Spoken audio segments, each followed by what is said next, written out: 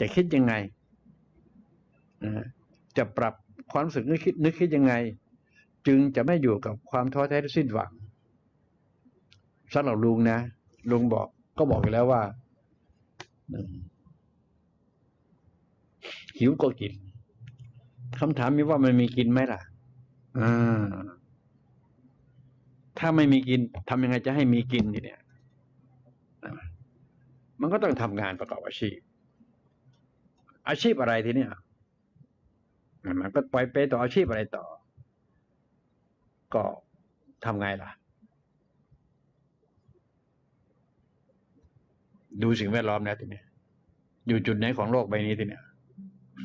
ชาวโลกเขาทำอะไรกัน ในชุมชนที่ท่านอยู่ ใช่ไหมครับ ชุมชนที่ท่านอยู่ อยู่ในเมืองในนาใช่ไหมต้องมีความรู้แล้วทีนี้ครับ เห็นไหมต้องมีความรู้มีความสามารถแล้วตรงนั้นถ้าไม่มีความรู้ความสามารถก็ลงทุ่งแล้วครับทำไรไถนาเห็นไหมมันก็มีกินใช่ไหมครับ มันก็ต้องปรับตัวไปรูปแบบนั้น ใช่ไหมครับ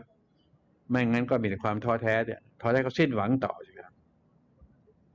ใช่ไหมฮะอืมใช่นะ ใช่นะครับ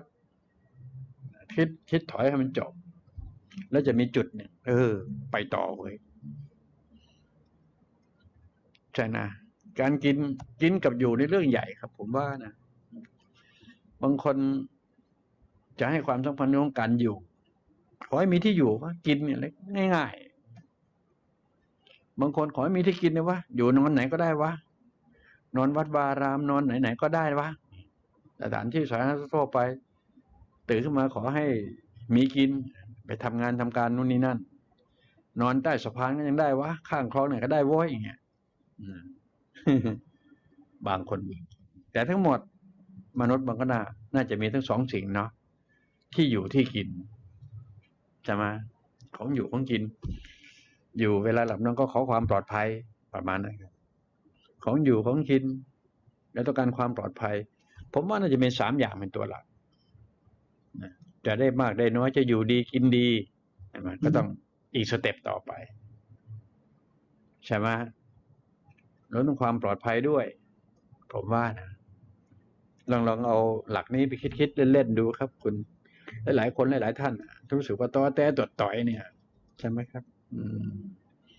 ถ้ายิ่งไม่มีหลักคิดแล้วก็ยิ่งไปกันใหญ่